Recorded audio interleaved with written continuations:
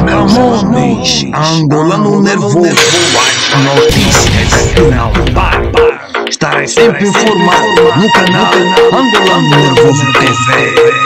As notícias de todo mundo aqui agora no canal Angolano Nervoso TV. Isto também é notícia. Depois do vídeo, não se esqueças de se inscrever no canal para estar informado. Manos e manas! Manos e manas, quando eu vi este assunto, eu decidi, espera aí, não posso deixar de não comentar neste assunto. José dos Santos, conforme todo angolano de Cabinda ou Cunene na diáspora já conhece, uma filha linguaruda que José Eduardo dos Santos teve. E nós, angolanos, temos que começar a se preparar, porque esses filhos dos ditadores de Angola, esses filhos dos ditadores gatunos, têm que ser apertados um dia no futuro, que é para lhes tirar tudo que os pais roubaram e deram. A dizer dos Santos Linguaruda vai dizer na filha de Jonas Malheiro Savimbe que eles, os filhos de Jonas Malheiro Savimbe, só estão vivos porque José Eduardo não quis lhes matar. Mas isto mesmo não faz não faz sentido nenhum. José dos Santos fugiu pra, para a Inglaterra com mais de 839 milhões de dólares roubado em Angola, dado pelo seu próprio pai, gatuno José Eduardo dos Santos. Manos, por isso é que eu digo, nós temos que acabar com esses ditadores todos em Angolas. Os filhos, os filhos desses ditadores todos que roubaram. Um dia temos que lhes tirar tudo aquilo que eles possuíram, que era do erário público de Angola, e para voltar nos cofres. Mas para isso, eu já disse, manos e manas, Angola precisa de alternância.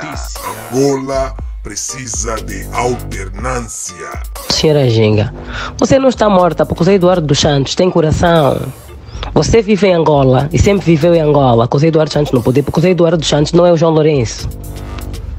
Porque o Zé Eduardo Santos não é o Agostinho Neto. Devia estar agradecida. Hein?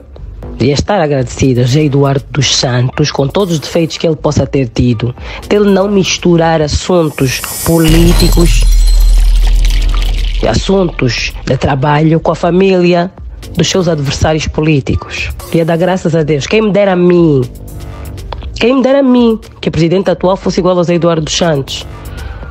Que permitiu que os filhos de Agostinho Neto estivessem a viver em Angola, a falar mal dele por todo lado, a dar entrevistas, a falar mal dele. Dentro do Comitê Central, a apontar-lhe o dedo, a chamar-lhe nomes e continuarem nos cargos o que permitiu e, e, que vemos que está até hoje um filho de Savimbi a tomar posse na Assembleia Nacional como deputado, com todos os direitos que a Constituição lhe, lhe, lhe proporciona. Nenhum filho de Agostinho Neto, nenhum filho de Savimbi, nenhum filho de, de, de, de Mendes de Carvalho, nenhum filho de Lopes de Nascimento foi perseguido pelos Eduardo Santos com todos os defeitos que o Eduardo Santos possa ter, se há alguém que não pode apontar o dedo para dizer que o Eduardo Santos é isso e aquilo, são os filhos do Savimbi. Brincadeira tem hora. Eu digo vinga e fica, não é ficar nos cargos. Porque fazer política não é ser escolhido por quem pode e manda dentro de determinado partido político para estar aí a dar a cara.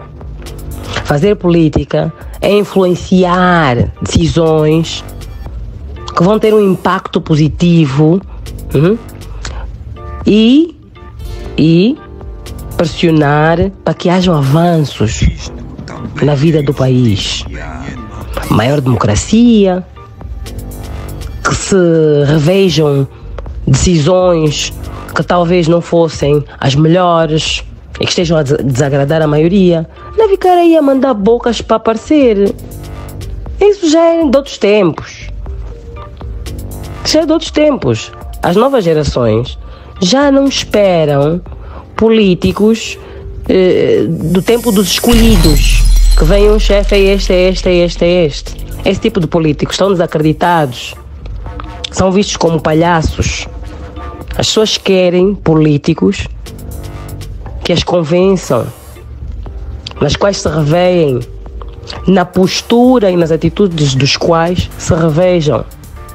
Não é só ficar aí ó, cheio de garganta mandar bocas, ou a bajular A ou B, ou a, ou, ou, a falar mal por falar mal e criticar por criticar, pensando que as pessoas vão achar muita graça. Isso dura um tempo. Qual é o histórico que essa jovem tem hein, no Partido UNITA para estar aí a mandar bocas? Qual é o histórico? Quero usar o nome do pai a toda força para, procurar um lugar na lista dos deputados de 2022 da, da UNITA. Provavelmente irá conseguir, mas já ninguém cai nessa palhaçada. Ah, o que? O partido é herança do papá. O papá fundou o partido, por isso é que é herança. O MPLA não é herança do Agostinho Neto nem do Zé Eduardo nem vai ser herança de João Lourenço, como também não é herança dos Pinto de Andrade. Na política angolana, dentro ou fora dos partidos, vinga e fica quem tem peito, minha querida. Escusa estar a tentar, hã? escusa estar a tentar deitar abaixo alguém com quem você ainda tem muito para aprender. É por isso que não aprendem. Oh, menina, oh menina, Daqui a bocado vai começar a ficar nua, como a Neto Nahara. Oh, jovem, a senhora acha que eu caí de paraquedas nas fileiras de um partido político usando o nome do papá hã? à procura de cargo? Depois ficar ao. Ah, querem me matar? Vão-me embora, vou sair. Para depois o presidente do partido chamar e fazer festinhas na cabeça, procura de um lugar sol. Oh, minha querida, ainda bem, ainda bem que tem um irmão chamado Rafael Massanga, que já é um político diferente, com todas as diferenças que tem da direção atual do, do partido, está lá por mérito. Deixa e apareça, homem. Meninas mijonas, pá. Ainda vai ter que comer muito funge para saber fazer política como eu. Dizer, minha irmã, olha, tu te sentes cutucada à toa. Quem começou a falar primeiro não foste tu. Já estás com amnésia ainda agora. Vai lá procurar as outras conversas, vai. Estás com amnésia já. Sabes qual é o teu problema? Te sentes atacada à toa. Você ataca as pessoas quando te respondem. Queres dar uma de vítima. É que estás tão habituada que no reinado do teu pai tu falavas, falavas e ninguém te respondia, estás a ver? Mas as coisas não são assim. Essa tua confusão toda é porque não aceitas que as coisas mudaram. Né? Tu ficaste essa confusa nas redes sociais exatamente por causa disso, ok? Aqui ninguém te tocou isso de bateu, levou. Estás a pensar o que? A vida é para ter uma competição. Assim, se bateu, levou, tipo, ganhaste, queres um troféu. Qual é o teu problema? Hum? Quando não te meteste com ninguém, deixa de ser falsa, a dizer. Já se escreveste o que é em cima? Quer dizer, eu comecei a falar contigo do nada, porque preciso da projeção da rainha do Nilo, né? Da deusa do Nilo. Vou te dizer, tu até és mais velha, yeah? Feliz noite. Olha, e sabes o porquê que eu não estou morta? Porque meu pai fez o papel dele. Hum? Não fez o papel dele. Por isso, dizer, a questão é que o teu pai e o, e o João Lourenço conhecem-se muito bem e eles sabem muito bem quais são os problemas que existem entre eles os dois. O porquê que nem tu nem nenhum dos teus irmãos está cá em Angola. E tu sabes, só que tem uma coisa, tu pintas a verdade para tentar esconder a tua frustração. Meu irmão, o caminho não é esse. Hum? Assumir os passivos. É assumir, é dizer, epa, o meu pai errou ali, errou aqui, prontos. Vamos agora nos unir, vamos fazer algo diferente. Não é levar essa arrogância de, dos, dos, mais velhos, ou não é levar os problemas que os nossos pais já passaram, já tiveram para nós. Sinceramente, eu não percebo isso. Não percebo mesmo. Eu não estaria morta, dizer. Ainda que fosse no tempo do J-Lo, tudo bem. Hum? Que o J-Lo também é outro radical e tudo mais. Mas isso é próprio da política do MPLA. São mesmo assim. São arrogantes. E tu também és a prova disso. Hum? Tu, tu até dizes que agora, eh, não sei se saíste do MPLA, não, não tenho a certeza, né? Mas continuas com a mesma arrogância porque vocês têm uma mente formatada de que Angola é vossa. Vocês têm a mente hum, formatada de que Angola é vossa propriedade. Tipo, como se fosse vossa empresa. Só que vocês sugaram tanto Angola do princípio ao fim. Hum? Que agora vem aqui todos dar uma de, de dar esses vossos discursos de sempre de buscar a guerra. É que vocês do MPLA são mesmo assim, vão sempre buscar a guerra para justificar. Esquecem que vocês participaram na guerra. Fala-me um bocadinho dos acordos de, de, de, Alvaro. Sinceramente, vocês não gostam da verdade. É só isso que se passa. Vocês nunca assumem a verdade, nunca assumem vossos passivos. É sempre culpa da UNITA. Até hoje vocês falam da guerra. Tudo bem, a guerra passou. Hum? O teu pai saiu da Angola. A Angola está uma desgraça. Entrou outro, continuou uma desgraça. Hum? Os filhos de Savimbi não têm culpa. Se vocês, filhos de, de, de, de não estão cá em Angola, não conseguem pisar aqui. Por quê? Porque vocês sabem de tanta maldade que vocês fizeram. E agora, entre vocês, as cobrinhas estão a se picar umas às outras. Hum? Eu não te devo nada, nem a ti, nem ao teu pai, agradecimento nenhum. Não fizeram nada mais, nada menos que o vosso trabalho.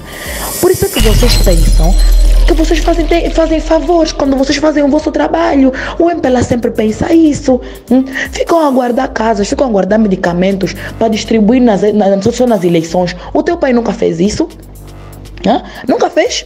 Ficam a roubar eleições dos outros. O teu pai nunca fez isso. O teu pai é o anjo que caiu do céu, Tizé, que não fez nada disso. Não corrompeu. Hum? Então a corrupção começou no MPLA como? Uh, graças à UNITA. A UNITA é que, é, é que implementou a, a corrupção no MPLA. Hum? Diz-me só. Vocês ficam a esconder medicamentos, contentores de medicamentos que o MPLA esconde há muito tempo. Isso não é, não é, não é, não é só do tempo do j Há muito tempo, porque isso é uma máquina viciada. É uma máquina viciada que o teu pai deixou. Hum?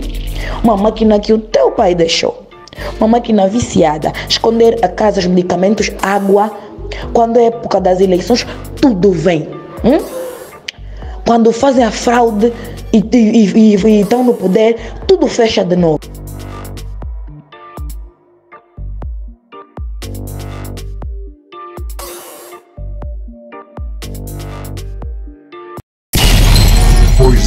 Pessoal, chegamos ao fim, mas não te esqueças, se você gostou do vídeo, espalhe o mesmo vídeo na sua rede de WhatsApp e todas as redes sociais para os teus amigos e familiares estarem também informados. Vemo-nos brevemente no próximo vídeo.